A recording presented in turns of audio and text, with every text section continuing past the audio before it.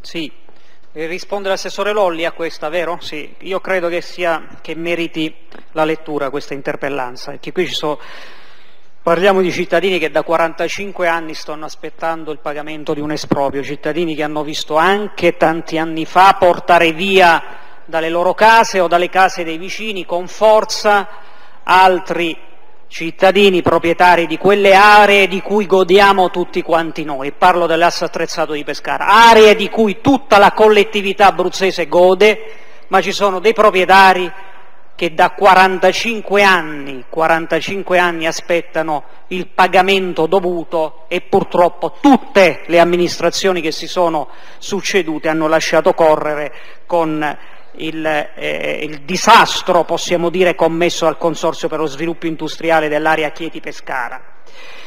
Ebbene, iniziamo gli anni 70, quando il prefetto della provincia di Chieti, con decreto di esproprio, ordinò ai proprietari di mettere a disposizione i propri terreni per la costruzione dell'arteria stradale in seguito denominate Asse Attrezzato Chieti-Pescara, fissando gli indennizi e disponendo il deposito degli stessi presso la, casa, la Cassa Depositi e Prestiti da realizzarsi a cura dell'ente beneficiario espropriante, che all'epoca appunto il Consorzio stesso. Il valore delle aree stabilito dall'Ufficio Tecnico Erariale calcolato in circa 456 lire su un metro quadro risultò immediatamente troppo basso e in netto contrasto con le valutazioni effettuate dal medesimo ufficio nello stesso anno e per le medesime particelle per altri esporopi, quelli cioè in favore dell'allora Ministero dei Trasporti e dell'Aviazione Civile. Tale paese, palese incongruenza ha spinto vari proprietari a ricorrere all'autorità giudiziaria e nel dicembre dello stesso anno, parliamo del 1970, hanno proposto una opposizione all'esproprio per l'inadeguatezza delle indennità offerte.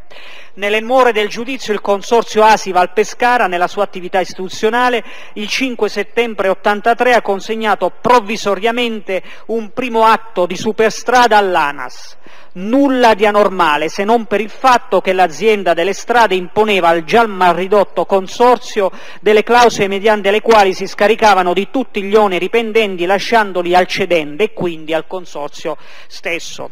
Intanto la sentenza di primo grado veniva pronunciata dal Tribunale di Chieti nel 1988, dopo ben 18 anni dall'inizio della causa civile. Inoltre in quella sede il giudice rilevò il mancato deposito presso la Cassa Depositi e Prestiti delle indennità provvisorie come prescritto nel decreto di esproprio. Il 4 maggio del 1993 avveniva la consegna provvisoria di un secondo tratto all'ANAS, il 14 aprile 1998 avveniva consegna provvisoria dell'ultimo tratto all'ANAS. La sentenza di appello è del 5 luglio 2011, passa in giudicato l'anno successivo, ottobre 2002. Dopo i numerosi quantovani solleciti, il TAR dell'Abruzzo, con una sentenza di ottemperanza in data 10 eh, gennaio 2007, investiva il Presidente della Giunta regionale pro tempore dell'onere di occuparsi del pagamento degli espropri relativi alla sentenza di cui sopra e nomina così un commissario ad acta, un legale dell'Avvocatura regionale. Con impegno davvero il commissario ad acta ha tentato in tutti i modi di arrivare all'ottemperanza, ma è riuscita a ottenere soltanto il pagamento da parte del Consorzio degli oneri di registrazione della sentenza per la modica cifra di 337.897 euro. Purtroppo nell'ottobre 2009 con una dettagliata relazione il commissario ad acta ha sancito l'impossibilità di ottenere il pagamento e dopo aver puntualmente evidenziato i motivi del dissesto economico finanziario dell'ente rimetteva il mandato nelle mani del Presidente pro tempore della Regione Abruzzo. Per tutta risposta la Regione emanava la legge regionale 23 del 2011 di riordino delle funzioni in materia di aree produttive. All'articolo 19 si prevede che, considerato il disequilibrio economico, sono attivate ai sensi della vigente normativa le procedure di liquidazione del Consorzio per lo sviluppo industriale dell'area Pescara-Chieti.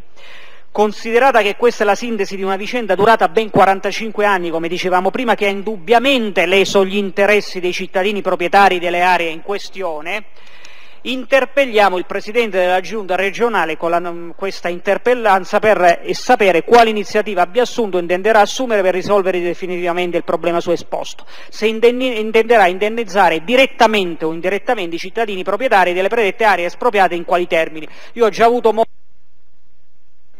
Da, date tempo per finire la lettura, finisca la lettura. Solo un minuto, abbiamo avuto modo di parlare con l'assessore Lolli. Io personalmente non sono d'accordo con quella proposta di cedere tutto all'ANAS e poi dire vabbè ci scrolliamo di questa responsabilità se la vedesse l'ANAS con i cittadini. No, assessore, noi siamo la Regione, noi possiamo pianificare, programmare e disporre in questo caso, non lasciamo soli questi cittadini. Facciamo in modo che siamo noi ad assumerci tutte le responsabilità, in questo caso voi come amministrazione attiva di governo, prima che avvenga il passaggio all'ANAS, perché poi non possiamo controllare più niente. Quindi non possiamo dare nessuna certezza in sé. Oggi i cittadini hanno bisogno di certezze dalla Regione, non dall'ANAS. Questa è la nostra posizione. Grazie. Assessore Lolli. Grazie. Risponderò nel merito, ma eh, diciamo va considerato che questa questione è inserita dentro una questione un po' più ampia, che è uno dei bubboni, dei tanti bubboni che nel corso degli anni in questa regione si sono accumulati e sono stati lasciati marcire. Parlo del consorzio Chieti-Pescara che attualmente è arrivato ad accumulare un debito di quasi poco meno di 33 milioni di euro, 19 dei quali nei confronti di cittadini espropriati eh, un, la metà di questi 19 milioni circa, poco meno, è relativa ai cittadini espropriati per il percorso dell'asse attrezzato, altri sono relativi a cittadini espropriati per le aree eh, di pertinenza del nucleo.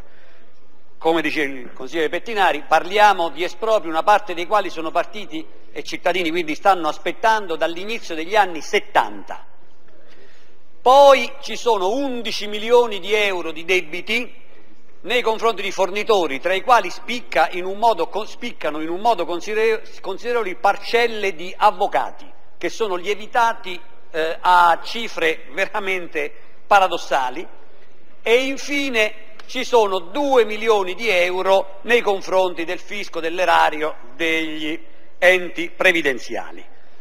Aggiungo che la situazione è, più, è, resa ancora più complessa dal fatto che questa struttura, cioè questo consorzio, di fatto non ha introiti, giacché i consorzi industriali non si reggono certo sugli introiti, eh, sulla gabella, così la chiamo, che fanno pagare ai, eh, agli imprenditori, spesso senza dare neanche servizi vagamente adeguati, ma si reggono i consorsi industriali sulla base della gestione della depurazione.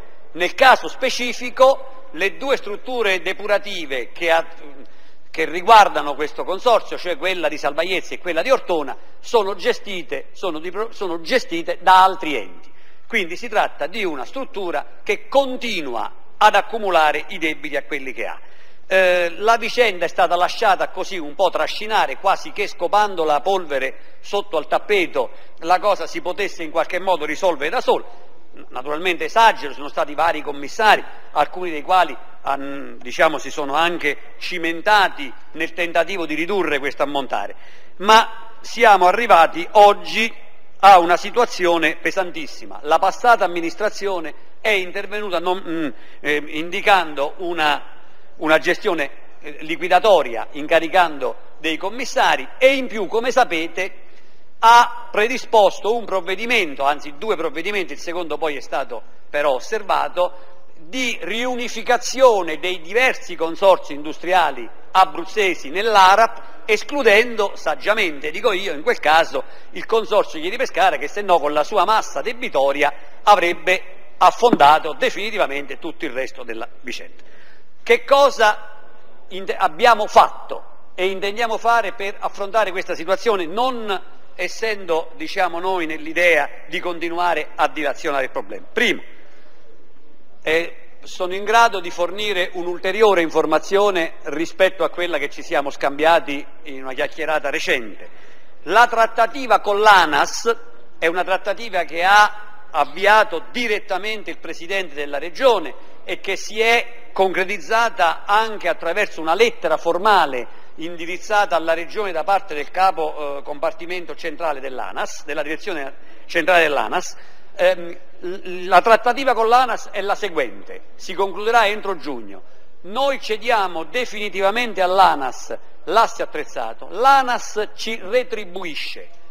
Vi posso, citare, vi posso indicare, il Presidente mi autorizza a fare anche la cifra sulla base della quale è avvenuta a oggi questa trattativa ed è esattamente di 9 milioni e 286 mila euro. È una cifra congrua a risolvere il problema degli espropriati del, ehm, dell'asse attrezzato. Secondo me è, è, ragionevole quello che dice il Consiglio dei Pettinari, cioè non si deve fare prima di cedo e poi te la vedi tu.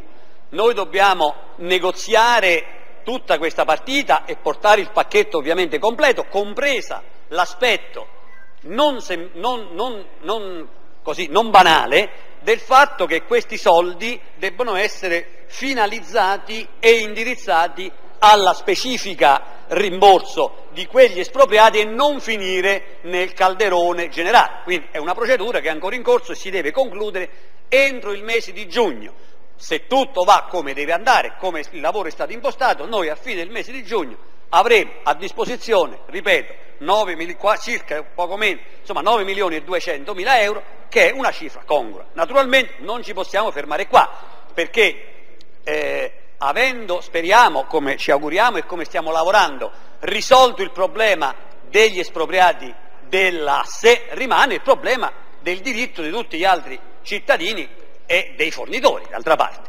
Relativamente a quella parte ulteriore di debito, stiamo lavorando perché l'attuale commissario dell'ARAP, nell'ambito del suo progetto industriale che nei prossime settimane verrà a illustrare e a riferire o in consiglio o in commissione, adesso lo stabiliremo, e che sta andando avanti secondo me in un modo molto serio e molto spedito e anche con una visibilità, con una prospettiva finanziaria positiva, dentro a questo progetto, come d'altra parte avevamo indicato nella lettera, nel, nel, nel documento che questo Consiglio indicò eh, che correrò diciamo, eh, per quanto riguarda quella nomina, di contrarre un mutuo entro il quale, un mutuo naturalmente avendo prima raccolto i beni del, ehm, eh, del, del Consorzio di Chiedi Pescara, un mutuo che naturalmente non può essere della dimensione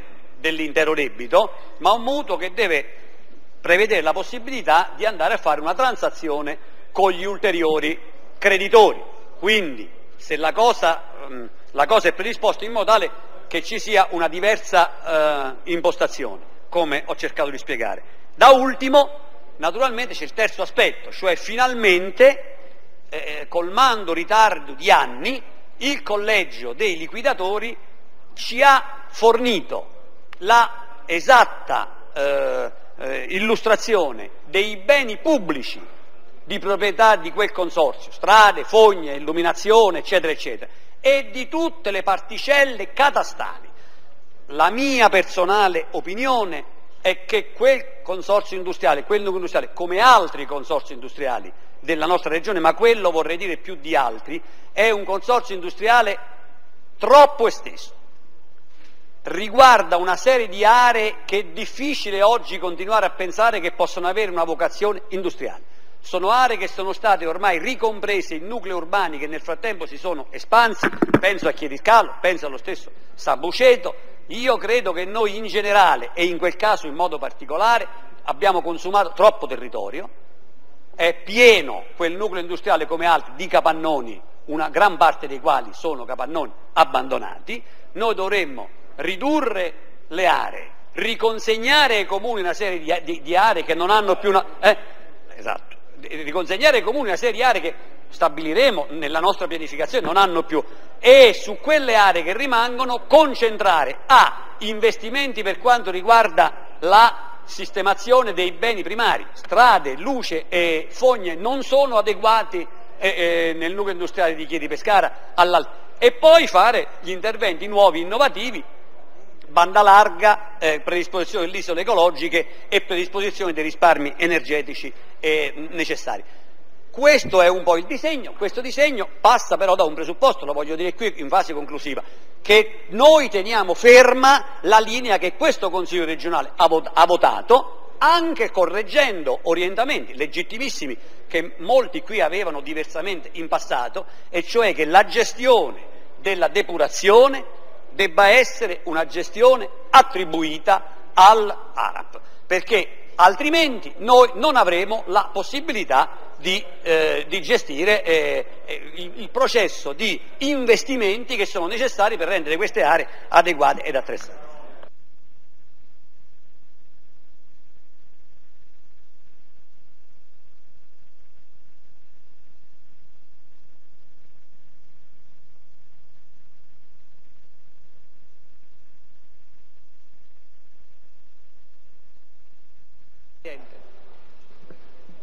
Consigliere Pettinari vuole fare la replica? Presidente. Ah, non l'ho visto. Presidente Alfonso vuole intervenire? Presidente. Prego. La replica è finale addirittura. E quindi mi verrebbe negato il fatto di riparlare dopo. Mi pare che il regolamento sia acclarato su questo. Purtroppo ci vuole, purtroppo ci vuole quella dicitura che soltanto il regolamento dispone che il Presidente può parlare in ogni circostanza, purtroppo. Allora, io voglio dire a lei, ma naturalmente strumentalizzo l'interlocuzione con lei, per affermare un fatto di verità, oltre la puntuale ricostruzione che ha fatto l'onorevole Lolli. Questa attività che abbiamo fatto noi adesso con ANAS andava fatto 40 anni fa, 30 anni fa, 20 anni fa, 10 anni fa, negli anni passati, soprattutto quando l'Italia aveva sette seni come finanza pubblica. Farlo adesso e raggiungere adesso questo risultato vale cento volte di più. Ma la cosa invece di merito, perché io non vorrei rendere questo Consiglio regionale un ARAN delle cose del passato, l'ARAN delle cose del passato la vorrei lasciare alla bad company, sapendo che dobbiamo ragionare come new company, qual è il fatto nuovo di cui ci dovremmo fare carico in una chiave alla Giacomo Vaciago, noi dobbiamo dare, avvocato Di Nicola, avvocato Di Nicola mi ricorda per intero il diritto lei, noi dovremmo farci carico di dare un nuovo regime del suolo alle terre dei consorzi industriali. E adesso vediamo che significa un nuovo regime del suolo. Onorevole Lolli, questo lei lo avrebbe potuto fare da stimato parlamentare della Repubblica, purtroppo lei è stato costretto ad occuparsi di sport e di cultura, per la parte che lo sport porta con sé, e anche di tutte le emergenze aquilane. Noi dobbiamo dare un nuovo regime del suolo alle terre dei consorsi industriali perché? Perché non sono ripetibili all'infinito gli spazi per l'attrattiva industriale. Ci fu un solo italiano che era direttore del DPS, Fabrizio Barca, che raccolse il mio grido di aiuto. Purtroppo il presidente dei consorsi industriali d'Italia, tal Coviello, fu contro, perché tutelava gli interessi dei consorsi industriali. Io posi allora da sindaco di Pescare il tema del regime del suolo, cioè non si può dare la proprietà ma va dato l'uso limitato e coincidente con la vita di quell'investimento. Una cosa di questo tipo un giornalista professionalmente contrattualizzato la dovrebbe scrivere bene, chiaramente. Purtroppo non accade per una serie di ragioni. Un collega consigliere regionale la dovrebbe rendere oggetto di una macerazione intellettuale, e cioè come organizzare un emendamento strada facendo che irrobustisca? Che cosa? Intanto il disciplinare tipico dei consorsi e poi muoverci all'indirizzo di Roma affinché arrivi una norma nazionale che ci farebbe salvi da tutti i contenziosi in essere e dai contenziosi che si potrebbero generare. Noi dovremmo dare alla San Carlo Patatine il regime del suolo giusto per fare l'investimento, ma non è che se finisce San Carlo Patatine, suo genero lo trasforma in edilizia che poi si vende col 23% di utili. Io immagino che così sia il ruolo dei parlamentari regionali, non l'inseguimento di cui parleremo in altra sede. Noi dobbiamo arrivare a fare una norma di questa fatta e battagliare. Io personalmente me ne faccio carico nella recuperata conferenza Stato-Regioni, nella sempre valida conferenza unificata. Però lo dovremmo anche stressare, avvocato Di Nicola, anche come norma da calare nel disciplinare tipo. Vi dico, vi posso dire come ho visto io il consorzio industriale Chieti Pescara negli ultimi anni? Avete mai visto, forse Camillo D'Alessandro sì, i vigneti tendenzialmente esauriti? Cominciano a piegarsi. Allora uno che fa? Se a ottobre cominciano a comparire, uno si prende quello che c'è, sapendo che è destinata alla morte. L'atteggiamento è stato prendiamo quello che c'è. Io penso che senza il consorzio industriale, ancorché fluito, andato dentro a questo nuovo soggetto, vitalmente protagonista, questa occasione, parlando a Lolli, ma soprattutto a voi tutti, noi dobbiamo ripensare dentro questo quadro la vita delle agenzie regionali. Questa storia che le agenzie regionali sono cartaceamente enti di appalto di lavori degli uffici della regione è il più grande inganno sicilianizzante la regione Abruzzo. Ogni tanto esce una baracca esterna che si fa carico di un pezzo di lavorazione amministrativa. È un inganno. È un inganno che non ha futuro. Oggi l'ambasciatore americano mi ha donato questo, adesso lo farò stimare dall'ufficio anticorruzione per vedere se supera le 150 euro della direttiva Cassese, sono dei gemelli, con Luciano Monticelli stimeremo se supera la direttiva Cassese, siamo al limite, però io potrei anche terziarizzare questa verifica, non ho nessuna difficoltà.